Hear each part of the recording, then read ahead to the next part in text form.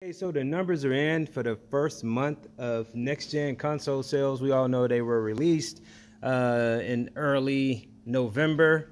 Now we are like a little bit over a month, I would say, since the release. And the PS5, to no surprise, is uh, leading the war so far because Sony has a bigger fan base. Uh, than Microsoft, that's for sure, because they've been out longer than Microsoft for one. And uh, Sony fans are loyal. Like, even if the PlayStation 5 was trash, people would still go buy it because a lot of PlayStation fans just are PlayStation for life. Same with Microsoft. They are fanboys. Now, Nintendo didn't do too bad in this war because people are still buying the Switch. And we know Nintendo have a fan base bigger than both Microsoft and Sony. So the sales are in the PS5, um, Xbox Series X and S, and the Switch launch sales contest have um, definitely came in. Now we all knew that Sony would win as far as numbers, but I'm truly, truly impressed by Microsoft numbers. Now, according to data by VG Charts, uh, Sony actually sold 3.3 million PS5s and this is worldwide, uh, with gamers in the U.S. snapping up nearly 1.3 million of those, while 1.5 million were purchased in Europe, and over 200,000 were sold in Japan.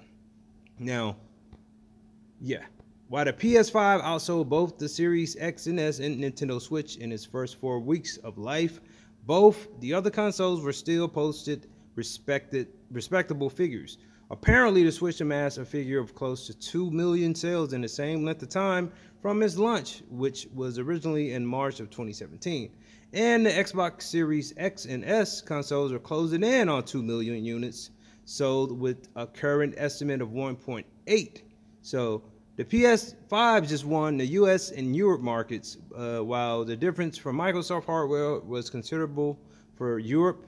Uh, Xbox fans were more abundant in the US with 988 units sold in the market. Now we're still tallying up the rest of the holiday season next gen sales, and of course they didn't launch enough of these.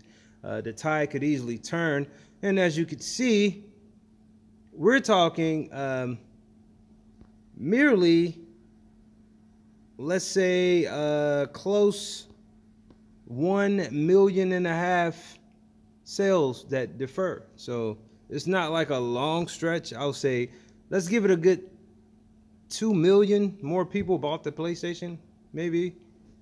But still, it's always been close between the two. But people, like I said, will buy the PlayStation 5 because of the fan base. And we're waiting to see what happens next. But yeah, the war has just begun. And everybody's trying to get one of these next gen consoles. And which one would you get? But as you can see, the Switch is still doing great because of the pandemic, and the Series X and X S is doing great as well. People are trying to get any type of gaming in their homes right now. And you can't lose with either the PlayStation 5 or the Xbox Series X or S. Like this video, leave your comments and subscribe.